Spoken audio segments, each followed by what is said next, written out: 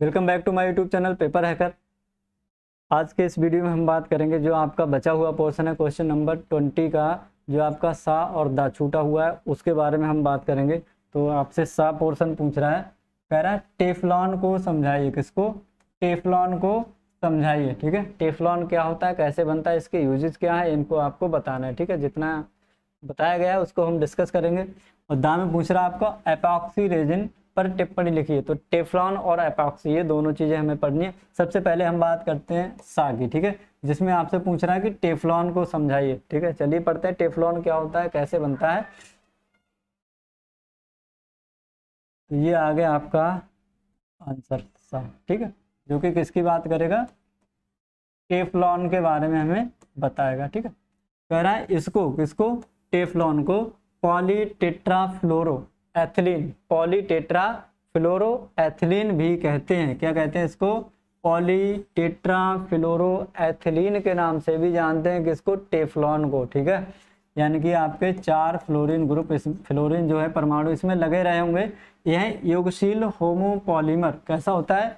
योगशील homopolymer होता है। यानी कि यह आगे अपक्रिया करता रहता है या एडक्ट आपका होमोपॉलीमर होता है। इसको टेट्राफ्लोरोएथिलीन को उच्च दाब के अंतर्गत ammonium peroxide sulphate NH4 NH4 का होल H2O8 के साथ गर्म करके बनाया जाता है। तो इसको किस तरह से बनाया जाता है?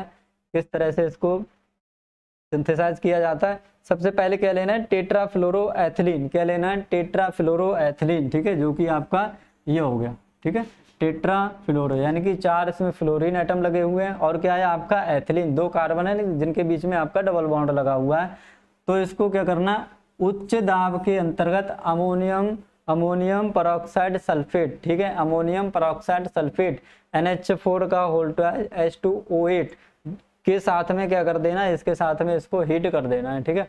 तो कर दो भाई, इसको हीट, ये आपका आ गया tetra fluoro ethylene, tetra fluoroethylene आ गया आपका इसके एन मॉलिक्यूल हैं। किसके मौ, कितने मॉलिक्यूल हैं? एन मॉलिक्यूल है। नंबर नहीं दे रखा है दो चार छः कुछ भी हो सकते हैं। इसको किसके साथ ट्रीट करना है आपका? ये हो गया आपका ammonium peroxy sulphate ammonium peroxo sulphate ठीक है? इसके साथ में ट्रीट करना है उच्च दाब पर और क्या कर दो इसको गर्म कर दो। अब गर्म करने पर होगा क्या? देखो। ये जो आपका कार्बन डबल बॉन्ड कार्बन और इस पे दो फ्लोरीन फ्लोरीन, इस पे भी दो फ्लोरीन और इस पे भी आपके दो फ्लोरीन, इस पे भी। इसके मॉलिक्यूल कितने आपके पास? एन नंबर ऑफ़ मॉलिक्यूल हैं, ठीक है? एन नंबर है हमारे किसके टेट्रा फ्लोरो एथिलीन के, ठीक है? अब क्या करेंगे? जब इसको गर्म किया जाएगा, ठीक है? किसके साथ में? इसके साथ में। तो क्या होगा? इनके बीच का जो बॉन्ड है, किसके बीच का? कार्बन कार्बन के बीच का जो डबल बॉन्ड है, ये बॉन्ड आपका ब्रेक हो जाएगा, ठीक है? क्या हो जाएगा? आपका ब्रेक हो जाएगा। या तो ये एंस की कंडीशन में होगा या क्या होगा, ये फ्री रेडिकल, ठीक है? दो तरह से इसमें एडिशन हो सकता है। फ्री रेडिकल की कंडीशन में होगा तो क्या होगा, एक रेडिकल आपका इस पर जनरेट हो जाएगा, एक इस पर जनरेट हो जाएगा। अब इसका दूसरा मॉलिक्यूल भी आपको इसी तरह से मिलेगा, दो फ्लोरिन दो फ्लोरिन। इस पर भी क्या होगा, इस पर भी वही कंडीशन, या तो ये आयंस आयंस के रूप में पहले ब्रेक डाउन होगा, या क्या होगा, ये फ्री रेडिकल के रूप में ब्रेक डाउन होगा। तो फ्री रेडिकल के रूप में ब्रेक डाउन होगा तो दोनों पे क्या होगा एक एक इलेक्ट्रॉन जो है बराबर बराबर आ जाएगा।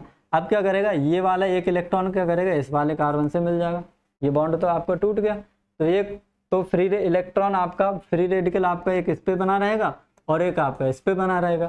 ठीक है? यानी कि इसके और इसके बीच में ही तो बॉन्ड बना है। तो अब भी आपका फ्री रेडिकल दोनों टर्मिनेट पर आपका प्रेजेंट है। ठीक है? दोनों सिरों पर प्रेजेंट है। अब ये क्या करेगा? जो और अगला मॉलिक्यूल आएगा, ठीक है, किसका? टेट्राफ्लोरोएथिलीन का। वो आपका दोनों साइड से, इधर से भी और इधर से भी रिएक्शन करेगा। और ये रिएक्शन आपकी कब तक चलती रहेगी? जब तक कि जो आपका टेट्राफ्लोरोएथिलीन है, इनके अणु जब तक खत्म ना हो जाए, ठीक है? या कहने का मतलब ये जो आपके फ्री रेडिकल हैं, ये पूरी तरह से जब तक कंज्यूम ना हो जाए, खत्म ना हो जाए, जब तक ये रिएक्शन आपकी चलती रहेगी, ठीक? तो इसको चाहे आप फ्री रेडिकल के फॉर्म में बना सकते हो और चाहे तो आप किस तरह से कार्बन कार्बन के बीच में जो डबल बॉन्ड है, इसको आप कुछ इस तरह से तोड़ दो तो इस पर कैसा आ जाएगा? माइनस का, इस वाले कार्बन पे कैसा आ जाएगा? प्लस का चार्ज आ जाएगा। दूसरा मालिक्यूल ले लो इसका फ्लोरीन और ये फ्लोरीन इसको भी तोड़ दो कुछ इस तरह से। तो इस पर कैसा आ जाएगा? मान लो प्लस का, इस पर कैसा गया? माइनस का। तो ये जो आपका प्लस वाला कार्बन होगा, ये वाला कार्बन इस वाले कार्बन से अटैच हो जाएगा और बॉन्ड बना लेगा। तो ये एक लंबी श्रृंखला आपको इस तरह से देखने को मिल जाएगी, ठीक है? तो इन दोनों के बीच में बन गया बॉन्ड कार्बन नंबर एक, दो, तीन और चार। तो कार्बन दो और तीन के बीच में बॉन्ड बन रहा है। तो बना, पहले कार्बन लिख लो। वन टू थ्री फोर चार कार्बन है। तो कार्बन नंबर दो और तीन के बीच में ये आपका बॉन्ड बन रहा है, नया बॉन्ड ठीक है? और कार्बन नंबर वन और कार्बन वन और टू थ्री और फोर वन और टू थ्री और फोर इनके बीच में जो आपका डबल बॉन्ड था, वो बॉन्ड आपके टूट रहे हैं और कार्बन नंबर किसके बीच में? दो और तीन के बीच में नए बॉन्ड का फॉर्मेशन हो रहा है, ठीक है? और बाकी क्या लगा हुआ है आपका? इस पे भी दो फ्लोरीन लगे हुए हैं, दूसरे कार्बन पे भी आपके दो फ्लोरीन, तीसरे कार्बन पे भी और आपके चौथे कार्बन पे भी। तो इस तरह से इन सभी कार्बन पे आपके दो दो फ्लोरीन लगे रहेंगे, इसके एन मॉलिक्यूल होंगे, ठीक है? यानी कि जुड़कर एक लंबी श्रृंखला का निर्माण कर लेंगे। तो ये जो ये जो आपका प्रोडक्ट होगा, इसी को हम कहते हैं टेफ्लॉन क्या कहते हैं? टेफ्लॉन कहते हैं, ठीक है? या इसको पॉली, पॉलीटेट्राफ्लोरोएथिलीन के नाम से भी जानते हैं। पॉलीटेट्राफ्लोरो एथिलीन के नाम से भी इसको जानते हैं। तो ये हो गया आपका टेफलॉन, ठीक? टेफ्लॉन, इसी में हम पढ़ लेते हैं कि आपका जो एपॉक्सी रेजन होता है, क्या होता है? उत्तर आपका क्या आ गया? द, ठीक है? एपॉक्सी रेजन, ठीक? तो एपॉक्सी रेजन के बारे में अगर हम बात करें तो कह रहे हैं एपॉक्सी रेजन को समझाइए। तो एपॉक्सी रेजन किस तरह से बनता है और इसके यूज़ क्या है, बस वही पढ़ना है हमें। बात करें, कह रहे हैं एपी, ठीक है? एपी क्लोरोहाइड एपी क्लोरहाइड्रिन एपी क्लोरहाइड्रिन ठीक है? याद रखना, क्या एपी क्लोरहाइड्रिन तथा बिसफिनॉल, क्या होगा आपका? एपी क्लोरहाइड्रिन और क्या होगा? बिसफिनॉल ए, की संघनन क्रिया एनएच की उपस्थिति में कराने पर एपॉक्सी रेजिन प्राप्त होता है। किसकी क्रिया करा दोगे आप? एपीक्लोरहाइड्रिन लोगे और क्या लोगे आप? बिसफिनॉल। इन दोनों की क्रिया किसकी उपस्थिति में करानी है? एनएच की उपस्थिति में क्या कराने है? इनका संगणन करा देना है। जो प्रोडक्ट मिलेगा वो क्या मिलेगा? आपका एपॉक्सी रेजिन मिलेगा, ठीक है? क्या मिलेगा? Epoxy resin. तो ये दो लाइनें याद रखनी है, ठीक है? वो आपका याद रखना है एपिक्लोरहाइड्रिन, ठीक है? एपिक्लोरहाइड्रिन और बिसफिनॉल। तो एपिक्लोरहाइड्रिन की हम यहाँ पर अगर बात करें तो ये आपका हो जाएगा C H two O, so so, sorry, क्या हो जाएगा आपका? C H two single bond C H single bond C H two single bond C L और इस वाले कार्बन और इस वाले कार्बन के बीच में एक ऑक्सीजन दोनों कार्बन से क्या होगा? एक ऑक्सीजन रिंग बन रही होगी, ठीक है?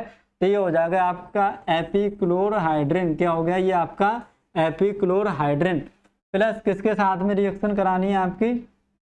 दूसरा क्या है आपका? फिनॉल, बिसफिनॉल है। ये आपका क्या हो गया? ये आपका हो गया बिसफिनॉल, ठीक है? क्या हो गया आपका? बिस्फिनॉल और आपका किसकी उपस्थिति होगी? सोडियम हाइड्रोक्साइड, ठीक है? तो यहाँ पर ले लो आप बिस्फिनॉल, ये जो आपका लिखा हुआ है, ठीक है? जिसमें दोनों तरफ़ आपका N A plus O H रहेगा। N A plus single bond O minus ये आपका क्या रहेगा? यहाँ पर फिनॉल रहेगा कुछ इस तरह से। कार्बन दोनों तरफ़ आपका C H three C H three लगा रहेगा इस तरह से। फिर आपका ऑक्सीजन ओ सॉरी यहाँ पर भी आपका एक बेंजीन रिंग आ जाएगा इस तरह से। Oxygen single bond N plus और ओ माइनस ये आपका आ गया। ये कॉन्जुगेट बेस है, ठीक है? किसका? बिसफॉस्फिन बिसफिनॉल ए का। कॉन्जुगेट बेस बन गया किसका? बिसफिनॉल ए का, ठीक है? अब देखो। यानी कि जब हमने एन के साथ में इसकी रिएक्शन कर दी, किसके साथ में? N A O H N H तो यहाँ से एन ए प्लस और ओ एच माइनस मिला होगा। एन ए प्लस और ओ एच माइनस यहाँ पर क्या होगा? आपका ओ एच लगा होगा, ठीक है? ये जो आपका फिनॉल ग्रुप है, यानी कि बेंजीन रिंग है, इनके दोनों साइड आपका क्या होगा? ओ एच ओ एच लगा होगा। जहाँ से ये जो आपका है सोडियम हाइड्रोक्साइड बेस इसने क्या करा है? एच प्लस आयन को यहाँ से अट्रैक्ट कर लिया, ठीक है? एच प्लस आयन को खींच लिया तो क्या आ गया? इस पर माइनस का चार्ज आ गया और जो एन प्लस की फॉर्म में था, ये जाके आपका ऑक्सीजन से लग गया, ठीक है? तो ओ OH की जगह क्या बन गया? आपका ओ बन गया, ठीक है? ये जो आपका ओ बना हुआ है, दोनों जगह, ये कहाँ से आया? ये होगा आपका, इस बेंजीन से क्या लगा होगा? आपका ओ OH और इधर भी क्या लगा होगा? यहाँ पर आपका ओ OH अब रिएक्शन किसके साथ में करी थी इनने? ओ OH के साथ में। तो ओ OH क्या बनाता है? एन ए प्लस और O H minus N A plus और ओ एच माइनस तो ये क्या करेगा? यहाँ से एच प्लस को अपने साथ लेके और एच टू बना लेगा। ठीक है? और यहाँ से क्या होगा? जो एन ए प्लस आपका, ये जाके आपका ऑक्सीजन से लग जाएगा। ठीक है? इसी तरह की क्रिया आपकी यहाँ पर भी होगी। ठीक है? दोनों तरफ़ सेम क्रिया होगी। तो ये कंजुगेट बेस बन गया। क्या बन गया? कंजुगेटेड बेस बन गया। ठीक है? जो बेस हमारे पास था एन वाला उसका एक पार्ट जाके लग गया, ठीक है? तो कैसा हो गया आपका? कंजुगेटेड बेस या संयुग्मी क्षार इसको हम कहते हैं, ठीक है? तो ये बन गया आपका संयुग्मी क्षार। अब बन गया आपका दोबारा से हमने क्या ले लिया? एपीक्लोरहाइड्रिन क्या ले लिया? एपीक्लोरहाइड्रिन ठीक है? अब इनकी रिएक्शन कर देनी है। एक एपीक्लोरहाइड्रिन है, दूसरा क्या है आपका? कंजुगेटेड बेस है, क्योंकि जो आपका क्या था? आपका क्या था? बिस्फिनॉल ए क्या था? बिस्फिनॉल ए की रिएक्शन किसके साथ में हो गई? आपके बेस के साथ में हो गई ठीक है? जो कि एनएच था और उसने क्या बना लिया? कंजुगेटेड बेस बना लिया ठीक है? किसका? बिस्फिनॉल ए का। अब बिस्फिनॉल ए और दोबारा से हमने एपीक्लोराहाइड्रिन ले लिया। तो इस कितने मॉलिक्यूल हो गए? तीन। एक एपीक्लोराहाइड्रिन और दूसरा ये एपीक्लोराहाइड्रिन और एक, क्या हो जाएगा? आपका कंजुगेटेड बेस हो जाएगा किसका? बिस्फिनॉल ए का। अब ये तीनों आपस में रिएक्शन करेंगे, ठीक है? तीनों क्या करेंगे? आपस में कुछ इस तरह से आपके रिएक्शन करेंगे, ठीक है? ओ, लो लो लो। सबसे पहले आपका क्या था? एपीक्लोरहाइड्रिन आ गया, ठीक है? क्या है आपका? एपीक्लोरहाइड्रिन। अब इसके बीच में ये जो NaCl है, ये आपका NaCl बाहर निकल जाएगा, ठीक है? NaCl क्या हो जाएगा? बाहर निकल जाएगा, ठीक? इसी तरह से आपका दूसरा NaCl ये Cl और इसका ये एन ये भी यहाँ से बाहर निकल जाएगा। और जो दूसरा एपी दूसरा आपका एपिक्लोराइड्रिन होगा, वो बिस्फिनॉल ए के दूसरे साइड पे आके लग जाएगा। तो पहले साइड पे क्या होगा? ये जो बिस्फिनॉल ए का ऑक्सीजन है, इससे आपका सी एच टू कनेक्ट रहेगा, ठीक है? फिर क्या है आपका? बेंजिन रिंग है C H three C H three carbon से फिर बेंजिन रिंग ऑक्सीजन अब ऑक्सीजन से जो सी एल लगा था वो एन लगा था, वो एन क्या हो गया? इस सी एल के साथ में चला गया। अब क्या आ गया? ये सी एच टू और ये आपका एक रिंग आ गई, ठीक है?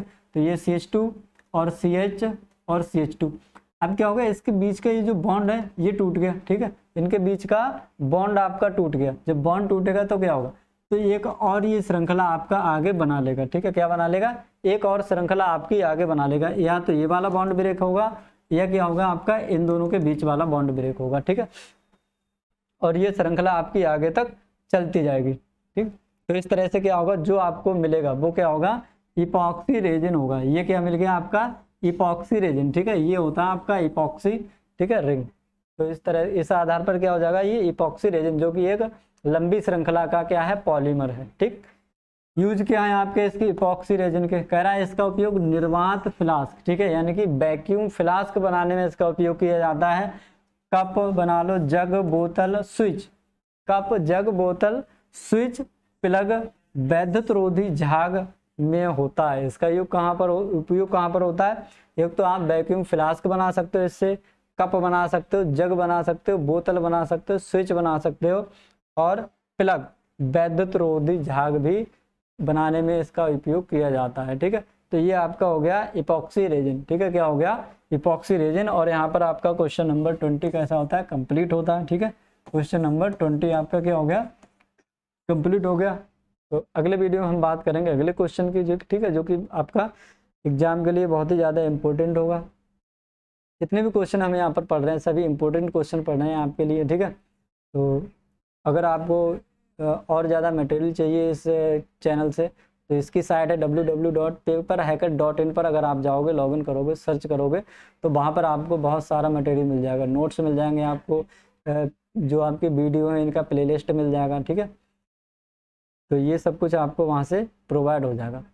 और अगर आप हमारे चैनल पर नए हैं तो सबसे पहले चैनल को सब्सक्राइब कर दीजिए, ठीक है? बने रहिए हमारे साथ। मिलते हैं अगले वीडियो में। Thanks for watching share the video